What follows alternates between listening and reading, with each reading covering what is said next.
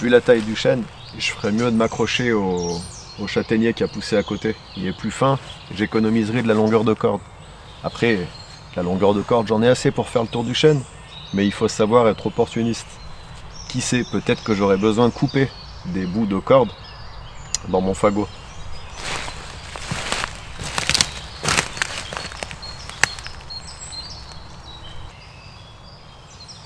Donc ma corde, je vais la fixer mais de façon lâche.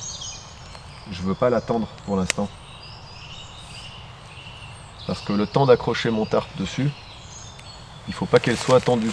Il faut que j'ai suffisamment de mou parce que je veux pas utiliser de nœud de prussique pour fixer mon tarp. Je vais utiliser une autre, une autre technique qui consiste à simplement passer des boucles dans les sangles du tarp et de fixer ces boucles avec des bâtons.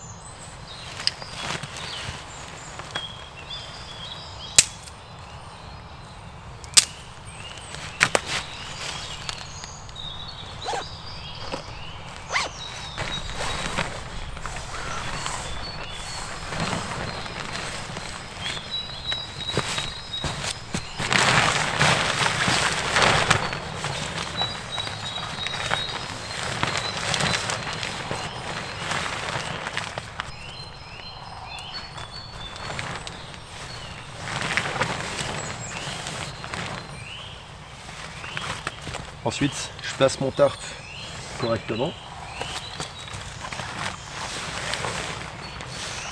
Et maintenant, je peux tendre ma corde fêtière.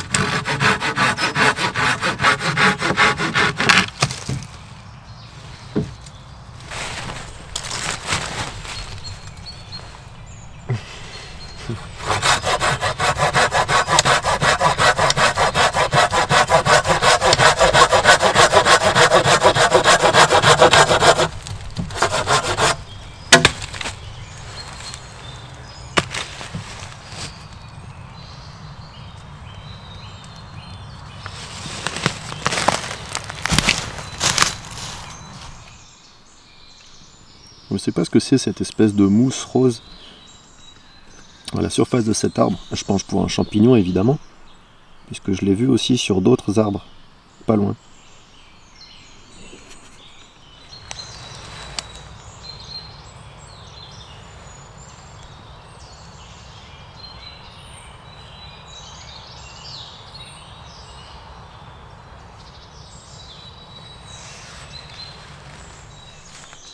Sur celui-là, c'est euh, un peu comme de l'eau qui coule le long de l'arbre. Mais on retrouve cette substance euh, rose. Bon, ici, ça ressemble à une déjection d'oiseau, mais euh, je vais monter le long de l'arbre.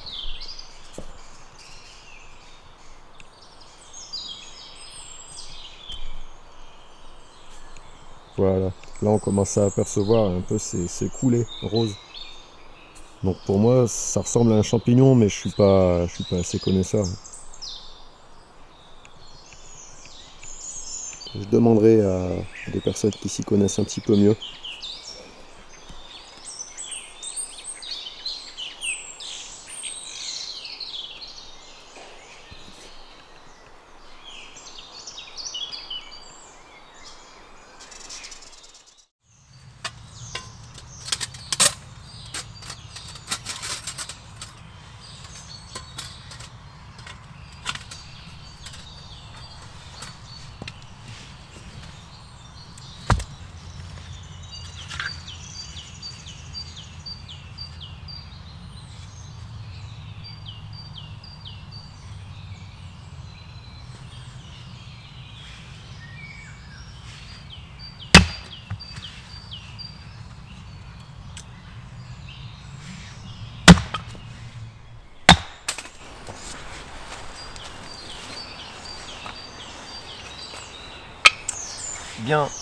Alors, sur de la petite coupe, sur de la coupe fine comme ça, l'inertie de la hache est correcte. Maintenant, ce qui serait bien, l'idéal, c'est de la tester sur de la grosse section. Peut-être pas du bio de merisier comme ça, mais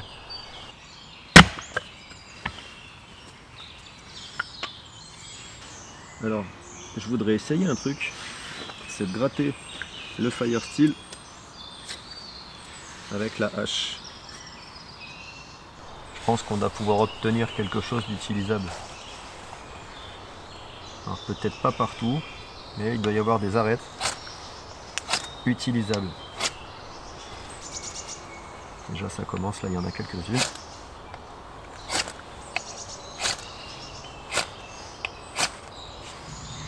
le tranchant évidemment qui va gratter le fire steel sans problème.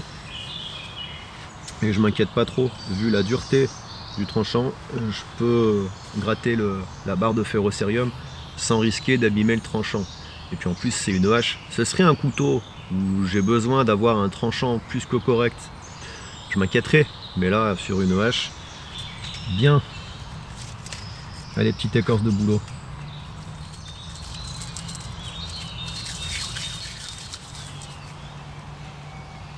bien la chiffonner, faire ressortir le maximum de petites fibres qui vont accrocher l'étincelle. Et puis, on va voir ce que ça donne avec le haut du fer.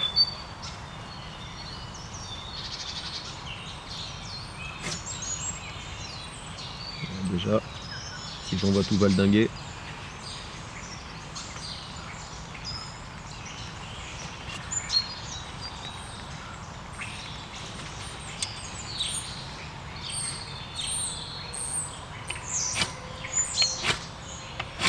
l'étincelle est pas mal, mais il faut vraiment appuyer fort. Le haut du fer, l'arête n'est pas préparée pour gratter du fire steel. Le tranchant, par contre, je m'inquiète pas trop pour la dureté du tranchant. Vu comme le fire steel est tendre, c'est pas ça qui va abîmer le tranchant de la lame.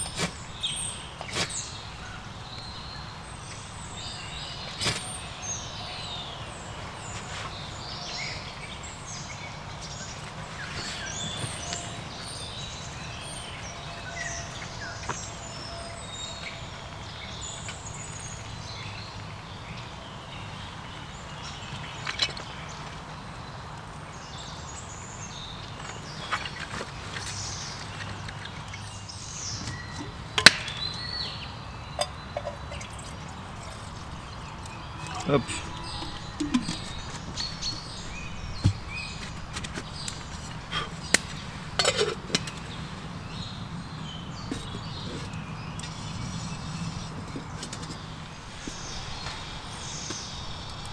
C'est ça que j'aime avec la fin de l'hiver, c'est que ça gazouille, ça gazouille beaucoup.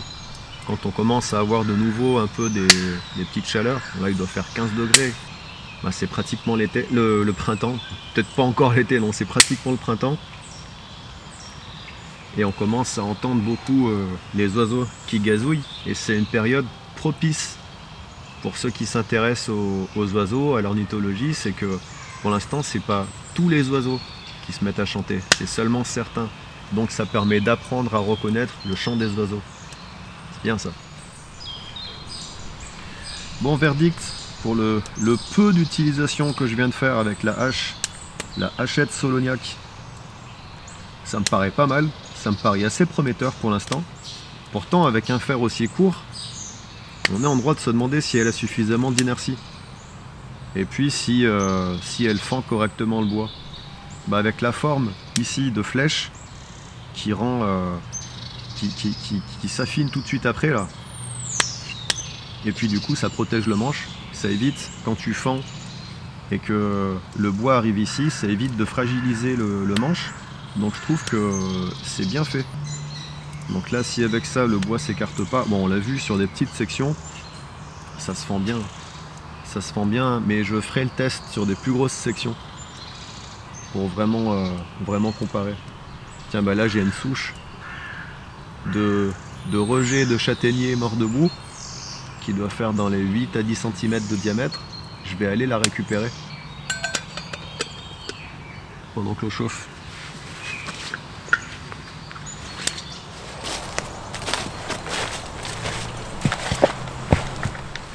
Voilà, section déjà plus intéressantes.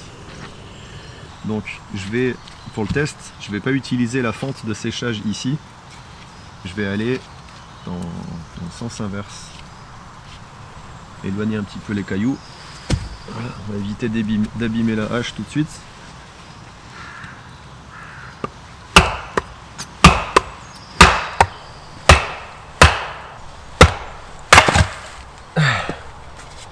Bah, comme je l'imaginais, le bout de bois s'est éclaté.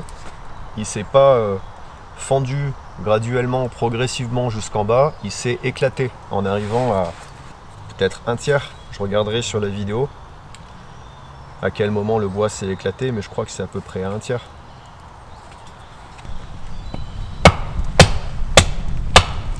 Ouais, elle, écarte, elle écarte bien, elle écarte bien. Ça s'écarte tout de suite. Avec l'épaisseur ici du fer, ça s'écarte tout de suite. L'étui, là, c'est une bonne idée d'avoir un, étui rapide comme ça. Avec un, un loquet ici que tu actionnes avec le doigt. C'est une bonne idée. Mais l'étui mérite quelques, quelques ajustements. Là, ici, on a le fer qui rentre pas dans l'étui. Et le loquet qui se met pas tout de suite en place. Et si j'ai la hache qui vient taper ici, ça fait sortir la hache de l'étui. Sinon l'étui il est, euh, il est particulièrement bien foutu au niveau de la fixation sur la ceinture. C'est pas l'étui qui va se barrer de la ceinture. Bon allez, on va boire le café quand même.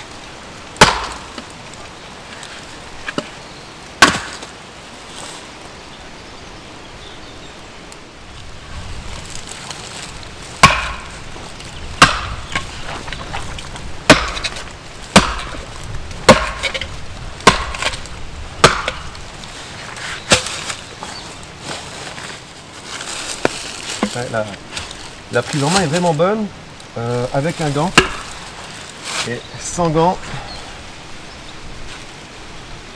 Qu'est-ce que ça donne sans gant? Ah, La dragonne mériterait d'être un poil plus longue, mais bon, ça c'est un bout de corde. Des bouts de corde, j'en ai plein de sacs. C'est pas, c'est pas un problème insolvable. Loin s'en faut.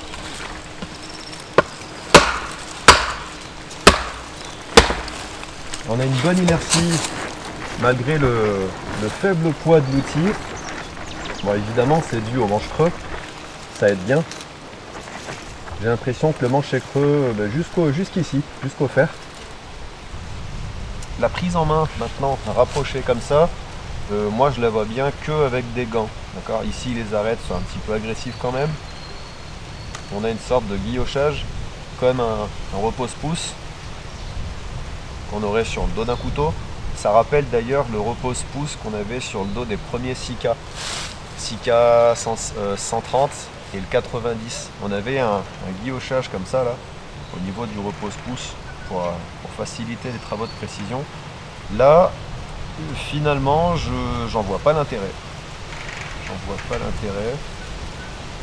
Si ce n'est, pourquoi pas décorer avec un petit bout de corde, euh, paracorde, corde en cuir par exemple, pour maintenir la corde en place.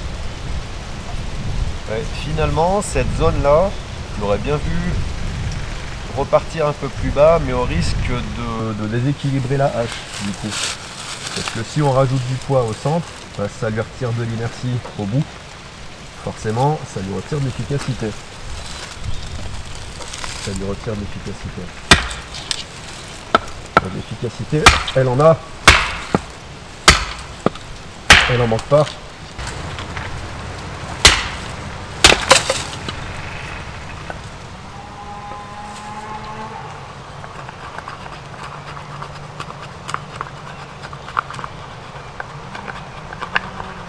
c'est pas les plus beaux hérissons de la vie, mais euh, je pense qu'ils vont faire le taf pour démarrer le feu.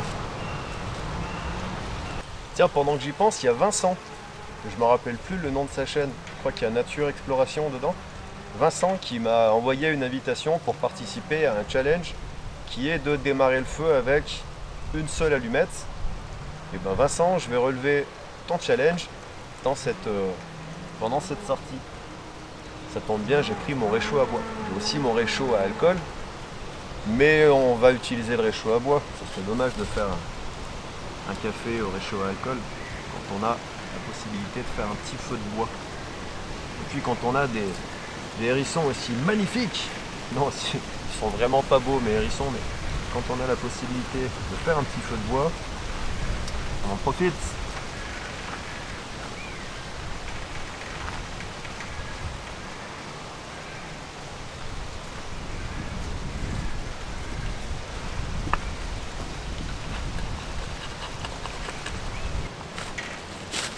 Voilà.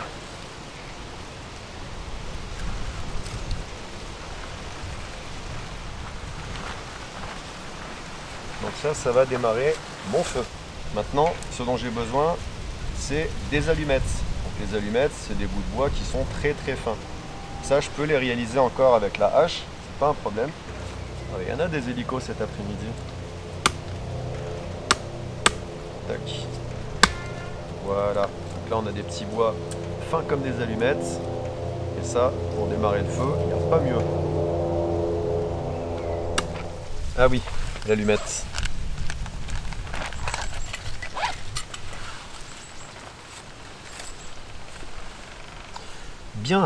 Alors le feu, je vais le démarrer dans mon cuir, cuir moustache, et ensuite je vais mettre le feu dans le réchaud.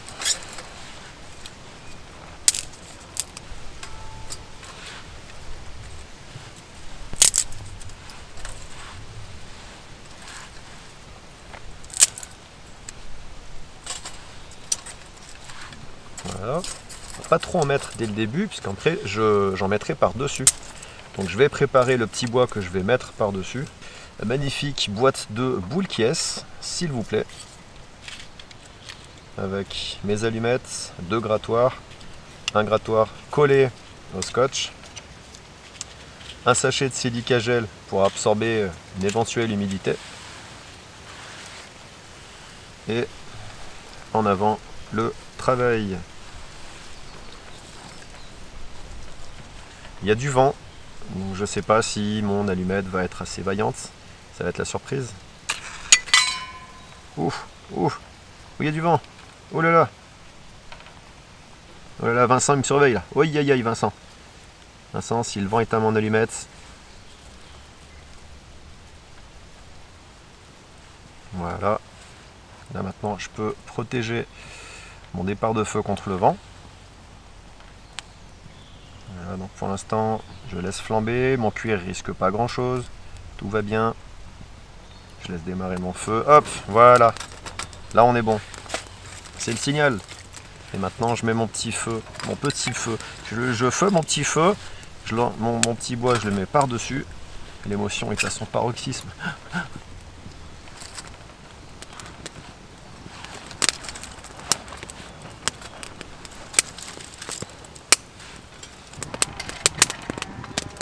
Hop, petite boîte de bout de caisse. Alors à ce stade, on pourrait se dire, c'est bon, pépère, le feu est lancé. Mais non, au contraire, rien n'est gagné. Donc là, je commence à charger les bouts de bois un peu plus gros. Donc je les mets à l'horizontale par la fenêtre d'approvisionnement du réchaud. Et je continue à approvisionner. Tranquillou. Ce serait dommage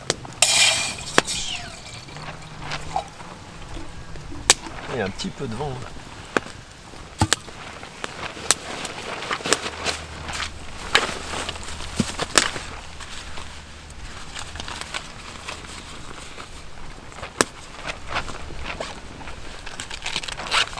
Oh bah alors, j'ai même une soupe.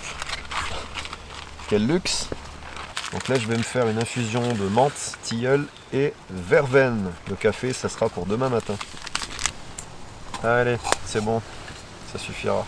Bonne petite infusion.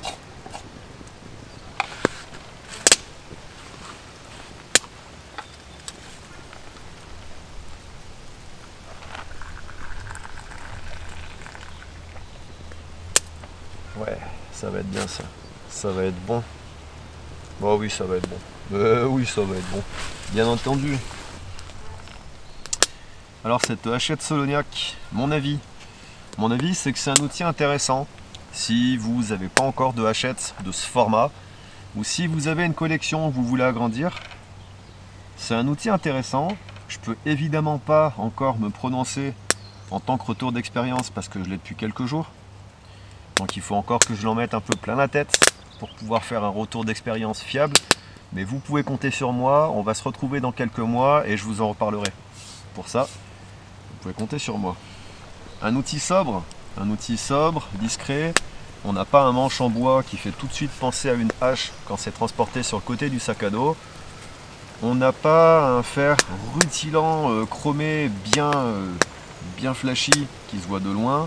Là, on a un, outil ben, discret.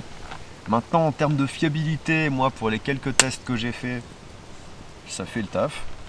Pour 30 euros, euh, je pense qu'on peut difficilement faire mieux. Ah, c'est un peu perfectible, hein, la forme du manche n'est pas, euh, pas régulière, elle n'est pas identique de partout. On, a un peu la trace de moulage du manche ici, mais euh, ouais, c'est un bon outil, un bon outil. Moi, c'est un outil que j'apporterai probablement dans mes sorties. Voilà. Voilà, c'est mon avis. Et il n'engage que moi. Maintenant, je vais finir mon infusion ranger mon barda, rentrer chez moi. Comme d'habitude, portez-vous bien, sortez dans la nature et on se dit à très bientôt.